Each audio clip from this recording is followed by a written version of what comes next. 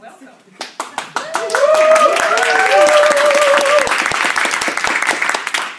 the world of Art Bay. And now, I would like to ask you to close your eyes for a second. For a short second.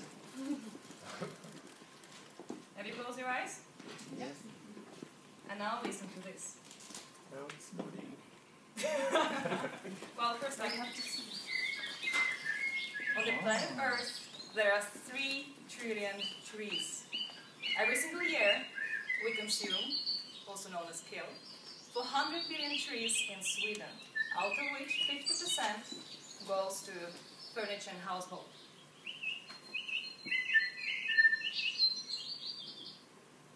We also, every single year, we also burn 2.2 billion of household waste. And this statistics for 2012, and now it's growing. Surprisingly, surprisingly, we have found, we were on Saturday on uh, uh, recycling stations, and we found all those goods that are perfectly functioning, but these goods are going to be recycled, also known as burnt in the nearest month.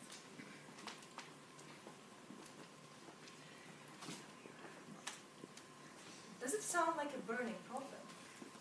Yes. But you know what? Burning is the problem. Uh, but we have solution with- for that. In Upcycle Bay, we found we created a marketplace, mobile and web marketplace for refurbished goods. And we, what we do, we give second life to goods. We also create jobs for newcomers and those who are unemployed. We save natural resources and we decrease environmental footprint that actually creates burning. So, um, we are mainly focusing on household appliances and uh, furniture. And what we have in our app is the locations of all upcycling and recycling centers. So, if I would like to buy, if I'm someone who would like to buy a refurb, refurbished product, I would click on buy and no, that's not it. Uh, yeah, I would click on buy, and if I'm interested in this cool refurbished Apple desktop table, I would click on it, and I would not only get the price, but also get what impact I'm making by buying this. And if I'm someone who would like to give away my furniture, say, say like this sofa, I would put my details online and put the tags, um, and I would uh, make a pick up a date because after that I would just you know throw it away. So uh, these four categories are our core customer segments. So uh, people who are conscious about the cost can uh, uh, buy from us. People who care about the environment can buy from us. Uh, people with uh, social respo- responsibility, meaning people who care about uh, unemployed or uh, immigrants or uh, uh, newcomers getting a job, they can buy from us. So they create employment to people who refurbish the products, and also people who want artistic touch and craftsmanship to the product, they can buy from us. So we went to uh, re- Garden and, and we asked around 20 people, and we uh, wanted to know uh, what their opinion on that. And their opinion inclines with our online survey, which we did.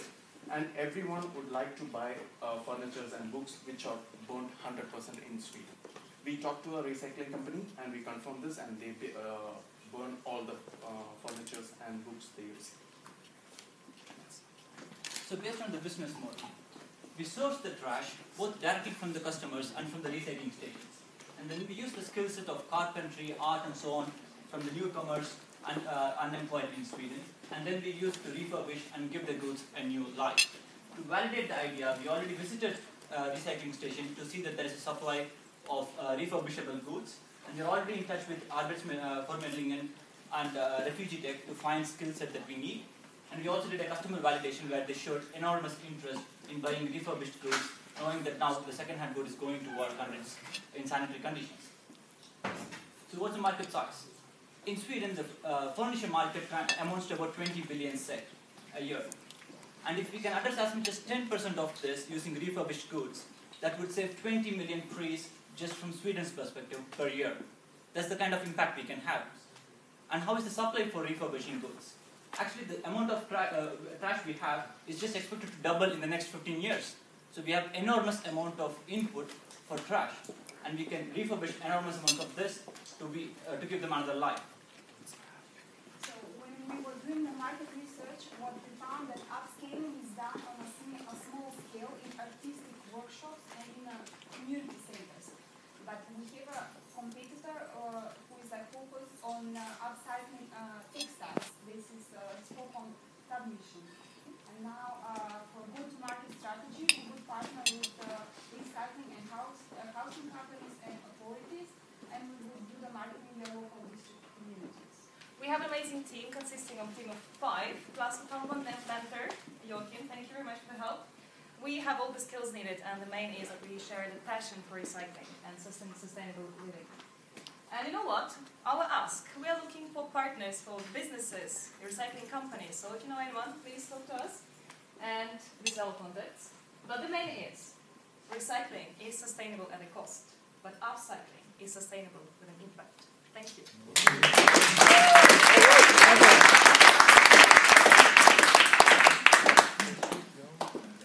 Thank you. Can I say that?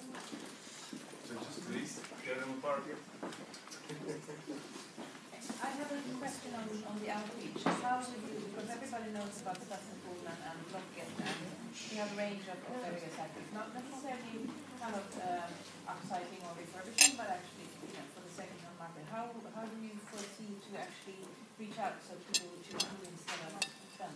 Uh, first of all, we'd like to make sure that to understand that actually we're not competitors to Stadsmission because they're focused on specific type that is actually textile. We would like to uh, actually make their value proposition uh, bigger. So we, one of the ways is to go partner with Stadsmission. And as one of my early investors always said, that never make money on someone, always make money with someone. And in our case, we're going to share, it's going to be commission share. So in future, we would like to, apart from just partnering them and uh, try to sell our refurbished goods and furniture in their places, but also the main is in fact going through local communities because we, are strong believers in going locally. I mean, Liljeholmen or Stockholm land, Stockholm commune, Stockholm land, and then going bigger. So it's literally word of mouth and uh, leveraging the power of businesses. Also, it is important for uh, the consumer to know that someone have looked at looked at the product and assured that it is working and it's good to go and it can. uh, It's a kind of a guarantee that we give uh, that it's working and good. Maybe I missed that part in, in, in the pitch, but um, I understood that this project is also giving employment. How, how does that work? Uh, meaning that we, uh, we enhance the products which, uh, say for example, if a furniture is uh, slightly broken or if uh, some part of the furniture is not working, we employ people who have the skills to fix it Uh-huh. and also also maybe uh, uh, add artistic touch to the furniture if it's a furniture. If it's uh, uh, some electronics, then they can fix something and we can help. Because here lies the opportunity. If I have something that I don't like and would like to get rid of, like throw this, right? I go to to Stadsmission. Yeah. If I have furniture that's slightly broken, I wouldn't bother doing something around it because I don't have skills, time, right? I would throw it away.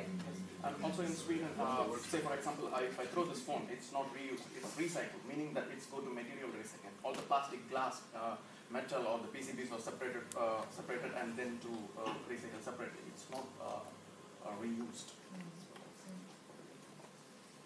Yeah, I'd like to actually a little bit more about that actually because it was interesting in, in the upcycling bit. To me, uh, it's not fixing broken things, selling it as you know uh, old but fit. But upcycling is redoing it in an artistic way. So how would you source these uh, Artists. you know, artists and the carpenters and you know Funny way and how would you work with them? Where would you place them?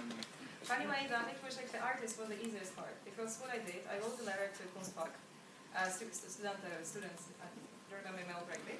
But the funny is, uh, I got uh, straight away uh, three answers from students who are uh, well, actually one, two of them are still senior students, one of them is alumni from Konstfack, who are looking for first of all to uh, sharing the same vision as I, like sustainability and uh, upcycling, reusing things.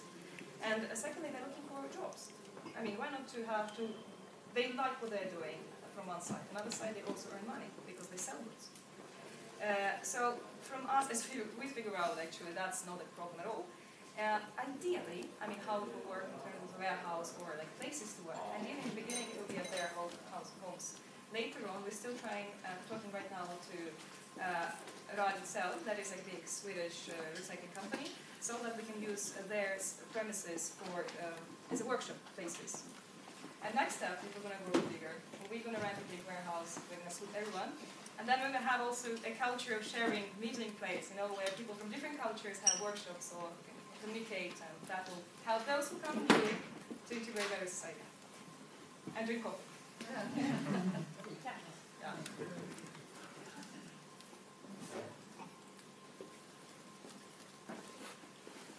Well, it feels like we did a great job, right?